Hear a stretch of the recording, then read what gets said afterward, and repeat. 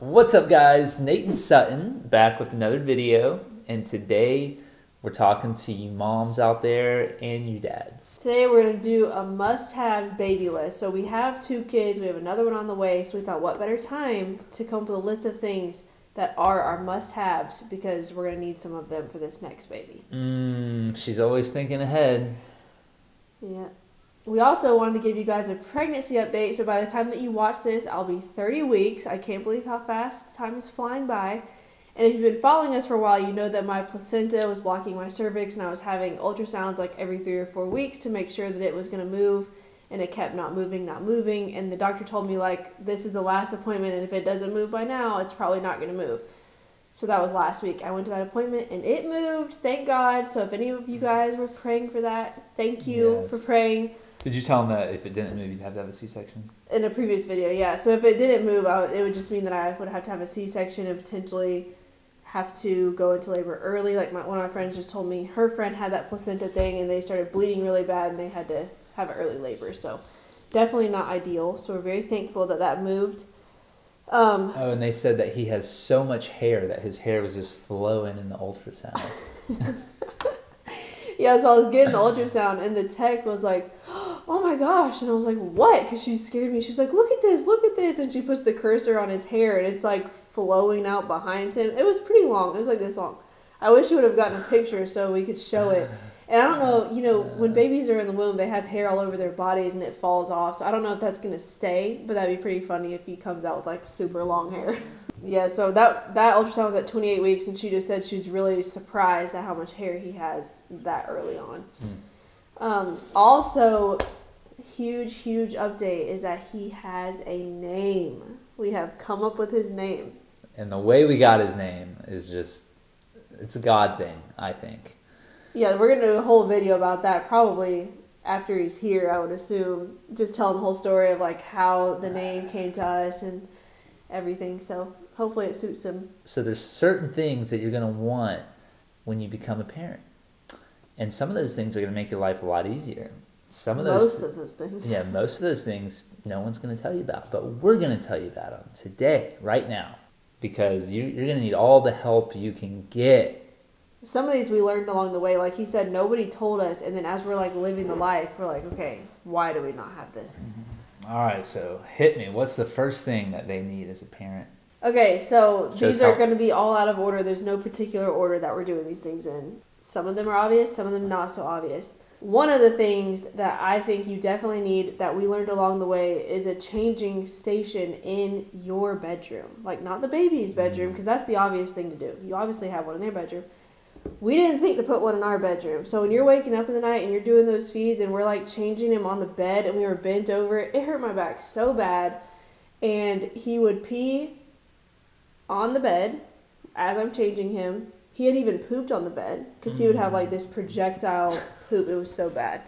Oakland is who we're ta- who I'm Oh, talking about. yeah. So anyway, yeah, when we figured that out, a changing station, and all that required was just getting a changing pad and putting it on top of our dresser, and then we just use the top drawer of our dresser to put diapers and stuff in. You don't have to like buy anything special. Just like put a changing pad on top of your dresser. Yeah, for you parents out there that are changing your babies on the floor and the My couch. sister, yeah, McKenna. Her sister does this or did that. She's done it for six years. I have no idea why, but diapers for six years. um, you guys are living the hard life. so So hard. Yeah, and then the next thing would be Moms on Call. We've definitely talked about that probably multiple times in our videos. That's just a book. And they do not pay us for this sponsorship. We are just promoting. We are just passionate about Moms on Call. life changing.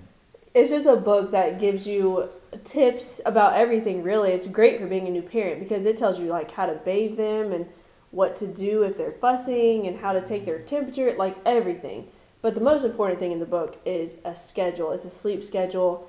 We followed it. We had both of our babies sleeping through the night at like eight weeks. 12 hours through the night at eight weeks old. That's what I'm talking about.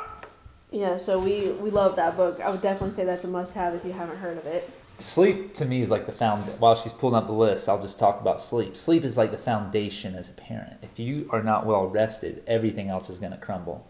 So you got to get that foundation. How are we as parents going to get the most amount of sleep possible? And when we first got Oakland, Um, We first got him. we were doing the stupidest thing. We were like both up at the same time in the middle of the night, and then we were both sleep deprived. So what made a lot more sense is for Sutton to be up all night, and Yeah. then and then that way I'm well rested, and then when I wake up in the morning, I'm ready to go. Wow, you're gonna get hate for that one. Yeah. You guys are always coming after him. That's a good one to get him on. Another thing that I would say is a must have is onesies with a zipper. I know the ones with the buttons, they're cute and all, but I'm telling you, when you have that baby, you're not going to be reaching for the ones with the buttons. I found myself going through the drawers, like avoiding those. If I saw buttons, I was like, nope, nope, nope, because you change so many diapers, you're not going to want to unbutton those things multiple times a day. Just get them with the zipper. With the footies is great because you Mm. can't really put socks on them; they'll kick them off. Hmm. And then even extra bonus is if they have those things that flip over their hands that make the mittens. We were putting mittens on Oakland, but his arms were so chubby that the elastic band was like too tight on his wrist. So we got the ones that went over his hands, and it's just so great, and they can't scratch their little face. Yeah, I got one for you guys. Uh, this one's kind of a given, but maybe it's not obvious to some of you. Is uh, cameras in their room? Mhm. Setting up cam is that really obvious? Does everyone do that? I don't know. Yeah. Well, Well. cameras slash monitors, because I had monitors on there. Monitors are a great thing to have too. Oh yeah, yeah. Just so you know, you don't have to go in there and check on them. Got cameras, you can just look at them. And the monitors, you can hear them. So, like, if you were going to go outside, you could just hook the monitor to your pants or whatever, and you can hear them to make sure that everything's good. Hmm. Another thing is a DockATot. It's just like a cushion that we would sit on the couch and lay them in it. It's just nice to have a little spot where you could put them down and know that they're safe. Yeah. because it seemed like when we didn't have like this baby-proof house, there was nowhere to put him. But when we had that DockATot, we just put it on the couch, and he would take naps there and stuff, and it was really Mm. nice. Yes. Something I don't suggest, but that is really common, is like a swing type thing. Like having a swing. We had a Mamaroo, we rarely used it. But we were just talking about how we didn't want to spoil them with movement because when they're sleeping, they don't get to move all the time unless you you want to be up all night. So we wanted them to get used to and like just sleeping, being still, and they did. And they never even really put up a fight about it. Mhm. Um, but that's something that I feel like is just such a normal thing to get. Like people think, oh, I need a swing or I need somewhere to set them down. Get you a DockATot to set them down, so they don't get used to that movement and feel like they have to have it. My younger sister just told me that her baby is not now like not sleeping that great in his crib, and he just wants to be in that swing because he likes the movement. It's like, yeah, you just set yourself up for that one. yeah. Something that's not the most obvious thing, this is one that we missed, is when it comes to strollers, we got a stroller for one baby, which it was an awesome stroller. It was so nice and so lightweight. But 16 months later, here comes Halston, and now we have to sell that stroller and get a double stroller. So I would say, if you're having a baby and you already plan to have multiples, I would just go ahead and jump to that double stroller or whatever multiple kind of stroller because you're going to need it eventually, and a single is just a waste of money. And the one that we have now is a, I think it's a City Select baby jogger, and so you can have one baby on it. Like it doesn't look like it's for two, but then when you have two, there's attachments and you can make it for two. So I would definitely recommend doing that. Save yourself a little bit of money. Another one that we didn't think of is having formula on hand. Like I just had the plan of I'm going to breastfeed this baby and everything's going to go great because that's how I've seen it on Instagram. It's like nobody has trouble. No. there was one night that it was we were struggling. I was crying. Oakland was crying. It was horrible. I was so stressed out. Like he hadn't eaten, and you know, Go- he's Mr. Google. He's like over there googling, like if they don't eat, it's gonna cause brain damage and all It this. literally says if they a newborn goes like I think five hours or more without milk, they're gonna it could cause brain damage. And I was like, oh Yeah, I don't even know if that's true. Google's like the worst thing ever, but yeah, we were just stressing out like, what do we do? Because I didn't have formula. I didn't even think about that. Thank God, my sister lives in our neighborhood. I called her crying. I'm like, help me, and she brought me some formula. So it's definitely a good thing to have on hand, even if you have zero intentions of using it. At least you have it, in, just in case. Yeah, and I was kind of one to always think, oh, my baby's never having formula, and I still, I still definitely want our babies to be breastfed as much as possible. But, you know, like Sutton and all her sisters, they were never breastfed. They, you were just formula fed, and you turned out fine for the most part.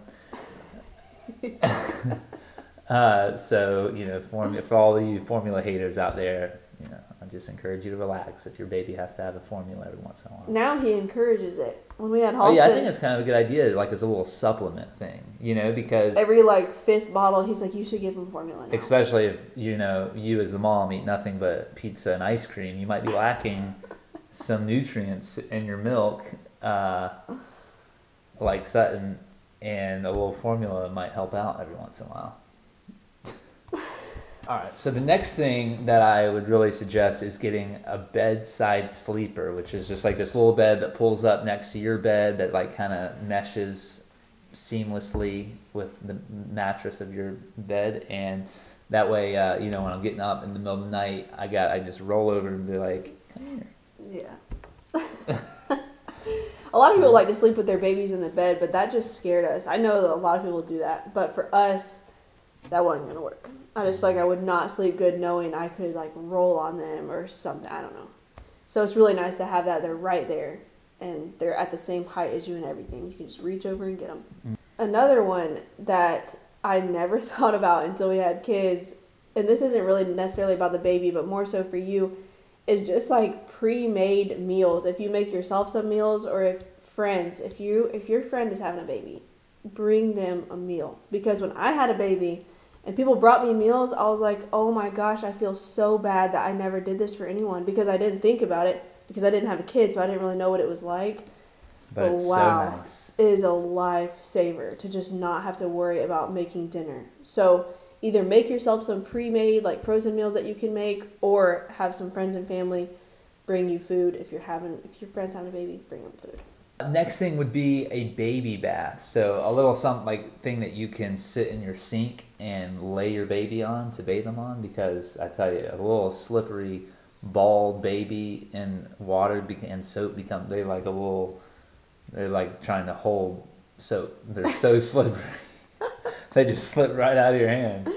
And yeah, we messed up with Oakland because we had one. It was like a basically like a mini bathtub that we would put in the sink, and we would have to hold his head up because it was just flat. Yeah. But then with Halston, we learned that lesson, and we were like, we're not doing that again. So we got another one. I'll link it below, but it's like at an Incline. angle. Yeah, so they can just sit there alone, and you can have both of your hands to do all the things that you have to do. Another thing is Balmex. So there's this thing called Balmex.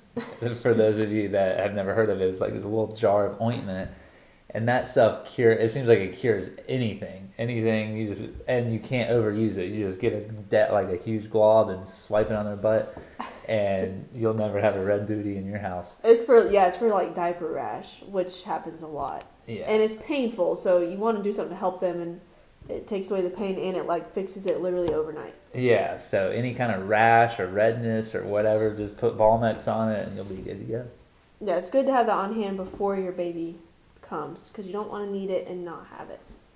And then another thing is this sleep suit called a Magic Merlin. Obviously, when they're baby babies, you're gonna swaddle them and stuff. And we never really found a really great swaddle that we loved, but we were just on the countdown to the days that we could put them in that Magic Merlin. And it's basically like a cloudy sleep suit that just Looks like a big marshmallow. yeah, it's just like a marshmallow. Like put them in a marshmallow. They can't. They can't like startle themselves awake, and they just slept so good. It was from when we got to put them in that that they were like sleeping through the night. And then one other thing that we didn't do that a lot of people do, I would say like maybe ninety nine percent of people do, is do you know what it is? A passy. Oh yeah, yeah. We had them. Oakland wasn't really interested because we would try it. and He didn't really care for it. Halston kind of liked it, but we stopped it weeks in because we were like, we don't want our lives to revolve around this passy to where if he drops it at night, he just cries. And thankfully, he was an easy transition. He didn't really care that we took it away.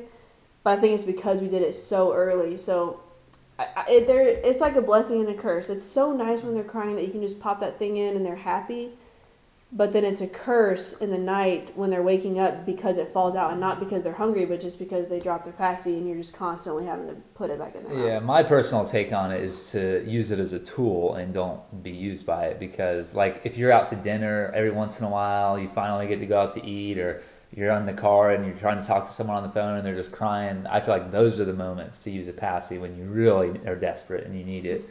And then, you know, but if you use it all the time, that they'll, yeah, it's a slippery slope. So that's it. those are the That's things. it. That's all you need to know, and then you'll be ready to go. Oh, one other thing that I need to get is a cordless pump. I was using a Medela before.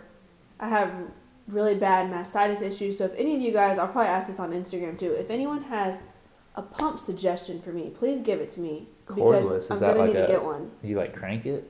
Like how do you? No, I guess you like charge it or something. and oh, it's like electric. Yeah, you know how mine I plug it in the wall, Uh, but this one I can like bring it around and not have to plug it in.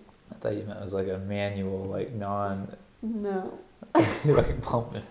That's Yeah, funny. so if any of you guys have a suggestion of that, I need one that has a lot of force pulling out, I would say. Because some people say that some of the cordless ones don't pull very hard. So, anyways, if you got one for me, let me know. Because I got to get one. I got 10 more weeks for due date. Ten weeks? Goodness, man. Not ready for that. All right, guys, that was the baby must haves. I hope it was helpful to you. It's definitely helped us in our parenting journey. Yeah, we'll link the ones that we can find below in the description in case anyone's interested in getting one for themselves or a baby gift. Mm, Not sponsored, not. but Amazon affiliate. Yes. All right, guys. That was Nate and Sutton sowing seeds of truth, love, and inspiration one view at a time. And those were our baby must haves after having two babies. And then one on the way. Practically professionals.